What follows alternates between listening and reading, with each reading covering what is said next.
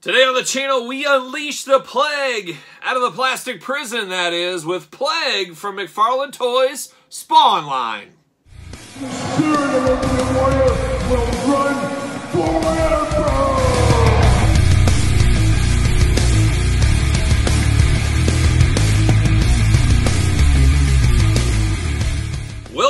Everyone, Kyle here, and welcome back to the channel for another McFarlane Toy Spawn unboxing and review. And today on the channel, we release the Plague with the Plague figure. But remember, for all your Spawn needs and a whole lot more, make sure you're hitting up Entertainment Earth. Use discount code Kyle to save yourself 10% on all in-stock items. And of course, anything over $39 does ship free. But today we round out another Spawn figure from this latest wave of Spawn figures and deep cut into Spawn. A lot of Hell Spawn figures, if you know about these guys at all. Now, a lot of these guys in this wave here outside of Sam and Twitch were really after my time reading the Spawn comic, but apparently they're characters and they are cool enough. and They're going to look really good on a shelf all together. And of course, we're going to do this review like we do all the other reviews on the channel. We're going to take a look at the packaging. We're going to talk about it. We're going to unbox it. We're going to talk about it. We're going to see where it goes from there. So without further ado, let's unleash the plague in old Plague Spawn. Right here, there he is. Big green background, nice red kind of framing on the box, Spawn logo in green, Plague name there. Big window box, a lot of stuff going on in this package that can be interesting to see. 13 and below, don't even think about buying one of these. It's 14 and up only, McFarlane Toys. Very evil looking face over there on the side, a little artwork action. It's a little spawn action, a little window box there. And then on the back, got the big, big artwork piece. No blurb, anything like that. Always disappointing to me, but it is what it is. You got the spawn logo at the top as well. Without further ado, let's get the plague out. Let's unleash the plague from the plastic prison, cardboard prison. You guys know how it goes. See you later. Goodbye. Get this old spawn stand out. Maybe, maybe, maybe. There it is. See you later. Goodbye. See you later. Goodbye off to the races with the Plague Spawn. Of course, Spawn stand we've seen a million times. We don't need to see that again. And then we got the old Plague. There he is in the package, looking pretty good there. Uh, let's bust him out. You know, this guy kind of gives me some Carnage vibes. Of course, we do know uh, Todd McFarlane did work on the Spider-Man uh, time frame. He was around for all that kind of stuff. Venom, you name it, the black suit.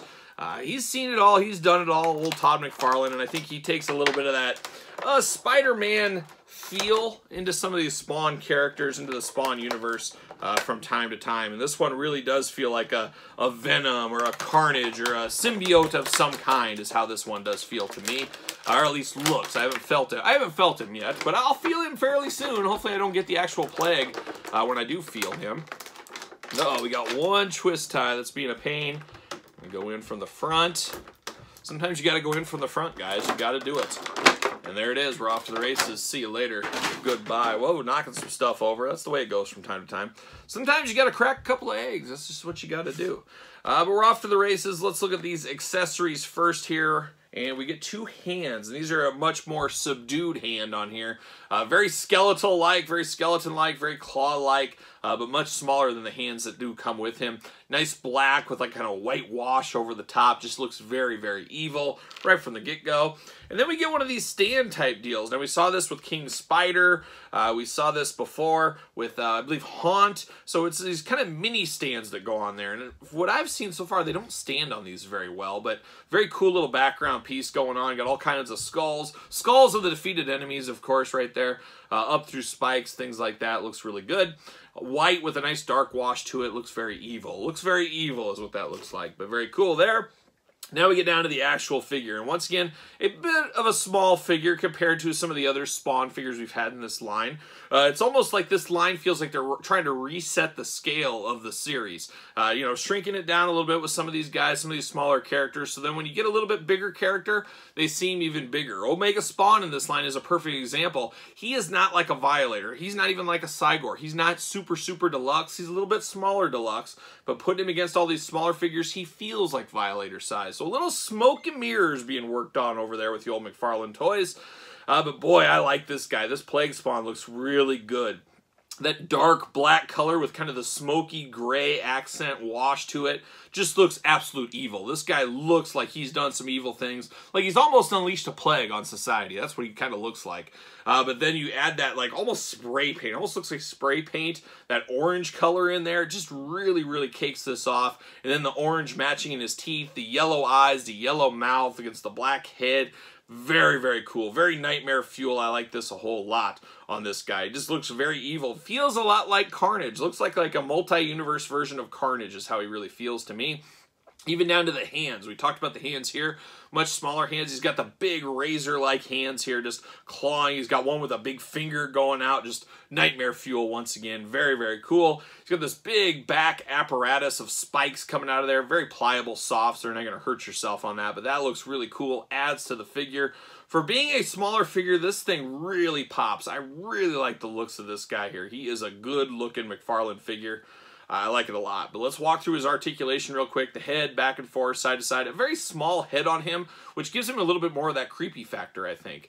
Uh, arms do go all the way around like we're used to. Got a little butterfly action as well. Got the bicep cut. Got the double jointed elbows. Hands removable, of course. And he's got big, big movements on the hands, so he can get some really strange hand positions uh, if you want him to.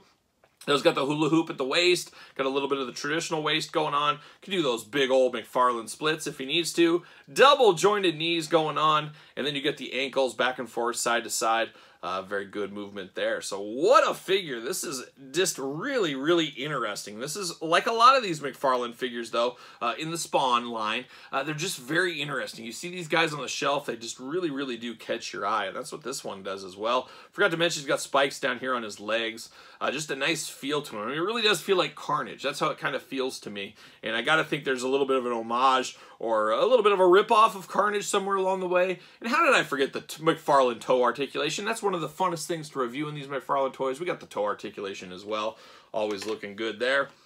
I'm guessing he doesn't stand very well on this stand. Well, let's see how it goes. Uh, it's always difficult to get this. Like, you get top heavy, it just doesn't quite work as well with these stands. I like what they're doing. I guess maybe if you use this stand in conjunction, you give him the rare double stand, maybe that's what you're supposed to do. So I guess he will stand with the double stand. Maybe that's what you're supposed to do with these. It looks a little strange, but I guess it does work. But man, I like this guy. I like the looks of this Plague Spawn a whole lot. Uh, Nightmare Spawn, we also unboxed him on the channel. You can kind of see scale-wise, they just kind of work together here is what they do. They work uh, not too shabby, not too shabby with these guys together. And uh, we're really growing out the Spawn universe, getting really deep into some of these other Spawns that aren't Al Simmons. Uh, and I'm here for it. I like a little adventure, but I also want some of the more guys, uh, some of the guys that I really know, the Tremors of the world. Give me Tremor. Uh, give me some of those deep cuts from the McFarlane Toys days. Bring them into the line. Bring me a giant Saber figure. Uh, there's a lot of really cool ones they could do, and I'm sure they'll get to them all eventually. Uh, but I would like to at least have one old school one mixed in with every wave. And I guess we did get that with Sam and Twitch. So what am I saying? Uh, we got Sam and Twitch, another old school one in this entire wave here but not too shabby. A very, very interesting line. Uh, Plague could be the sleeper of the set, and around $20 price point man, that's a winner to me. This really does feel good for 20 bucks uh, or so, 20, 22, whatever it is. Uh, looks really, really good here. So that's Plague Spawn. What are your thoughts on Plague Spawn? You here for it? You picking this one up? You playing the long game? You never heard of them, so you're passing? I guess I'd understand all those answers, but let me know your answer in the comments down below. Of course, you made it this far. Don't forget to like the video. Don't forget to subscribe to the channel. Turn on the old notification bell as we got videos every single day and then some and tons of Spawn unboxings this entire way wave. Uh, to tell you the truth, we're unboxing all these guys here on the channel, so stay tuned for that. And just let me know your thoughts down below. And don't forget about the Patreon channels for early access to videos like these, bonus contents, giveaways, Q&As, you name it. A lot going on over the Patreon. And best of all, you do support the channel. You can also support the channel over at ProWrestlingTees.com. And don't forget to hit me up on social media. SirPaul64 is where you're going to find me on Twitter.